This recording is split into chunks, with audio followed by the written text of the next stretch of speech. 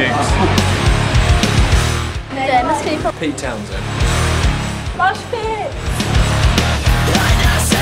Drugs. Drug use. Keith Richards.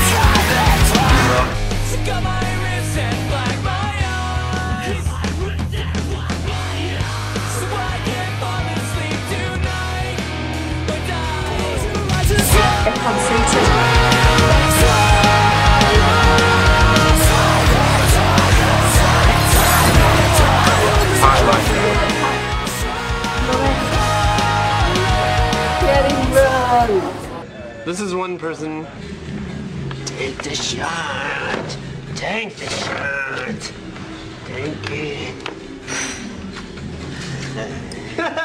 It's not that bad. Alright, I'll take some. What's spilling on Take me? the shot. Take the shot. Yummy. Get this gun, dude. Ah, you Yummy. Dude, you guys are trying to give me acid. Yummy.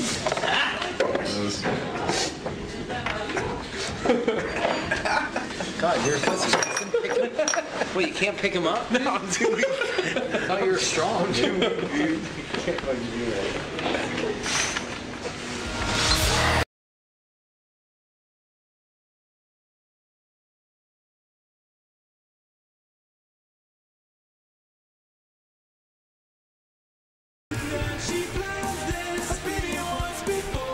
These are only uh, ones from America, and they couldn't go on there because Americans make big ones. That's what I like to think I am.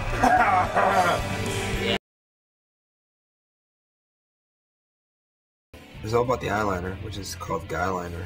I wear eyeliner just because I started wearing it because I felt like it tested some boundaries and it just like looked cool. I've been called everything that you could ever think of. Make one up. I've been called that. I don't know. Sometimes I just decide not to wear eyeliner, and it, it bothers people when I don't, and it bothers people when I do. And I mean, I like being that kind of person, so I think that eyeliners had a resurgence with guys because you see like Johnny Depp is Captain Jack Sparrow, and he's rocking eyeliner. You know. Perfect. Great. The guide to putting on the first step is you take your sharpened pencil and apply it around your eye. Second step to putting on guyliner is to smear it. Because when you're a guy, you don't really want your makeup to look perfect, which usually isn't a problem. And the third step is to smudge the eyeshadow on.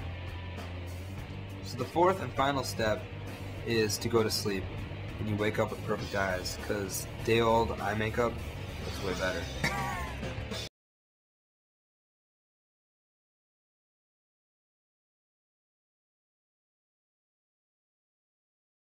P-I-T adapter.